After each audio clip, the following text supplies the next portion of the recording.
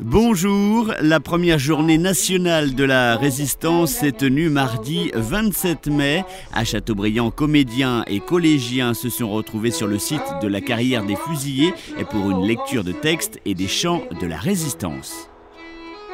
Aujourd'hui à Châteaubriand, c'est la journée nationale de la résistance qu'on fête dans toute la France parce que c'est un décret du 13 juillet 2013 qui a institué une journée en hommage à la résistance et notamment euh, au Conseil national de la résistance qui est né euh, le 27 mai 1943 et présidé par Jean Moulin en plein Paris occupé, première réunion.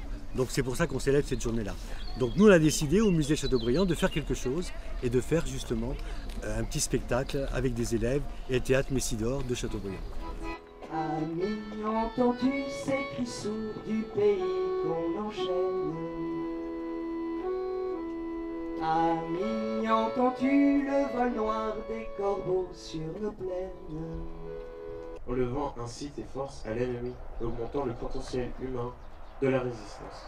Nous avons tous les ans des élèves qui participent au concours de la résistance et euh, comme nous sommes assez proches de la carrière, nous emmenons aussi nos, collégiens et nos lycéens visiter les lieux euh, pour un travail de mémoire et puis parce que ça rentre dans nos programmes euh, pédagogiques.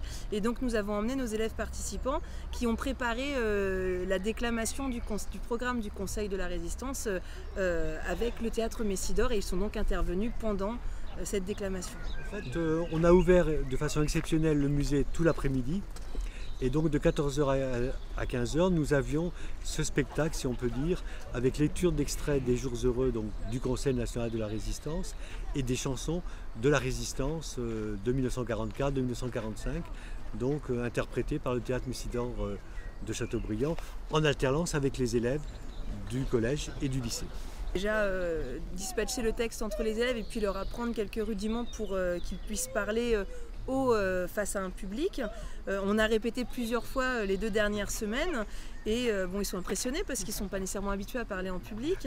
Et puis bon, c'est quand même un petit peu officiel. Ils ont vu qu'il y avait des caméras, ils ont vu qu'il y avait des, appareils photos, mais bon, ils se sont bien tenus. Et puis je pense qu'ils sont contents d'avoir participé à quelque chose qui pourtant est scolaire, mais pas forcément rébarbatif. C'est important déjà de, bah, faire entendre, surtout aux jeunes, qu'après la guerre, des gens avaient résisté et sont battus pour qu'on puisse accéder à tout ça et qu'aujourd'hui il faut continuer à rien lâcher pour garder ses, acquis. J'ai participé, à la lecture et euh, bah, c'était bien. tout s'est bien déroulé. on a été euh, au collège, avec euh, notamment le, théâtre. on nous a donné les textes et on a répété chacun. Avec Alexis Chevalier. Ouais, avec Alexis Chevalier. Après, on a répété chacun chez nous. C'est intéressant. Ouais, c'est intéressant. C'est toujours bien de, de, bah, de se commémorer euh, les, la résistance. C'est grâce à ça aujourd'hui que nous sommes libres c'est quand même euh, euh, notre, ville, donc c'est bien d'apprendre des choses aussi, s'est passé ici. Et sachez que le musée de la résistance de Châteaubriand propose une exposition temporaire, les libérations de Loire-Inférieure 1944-1945, présentée jusqu'au 27 septembre prochain. 11 ans déjà, que cela passe vite, 11 ans.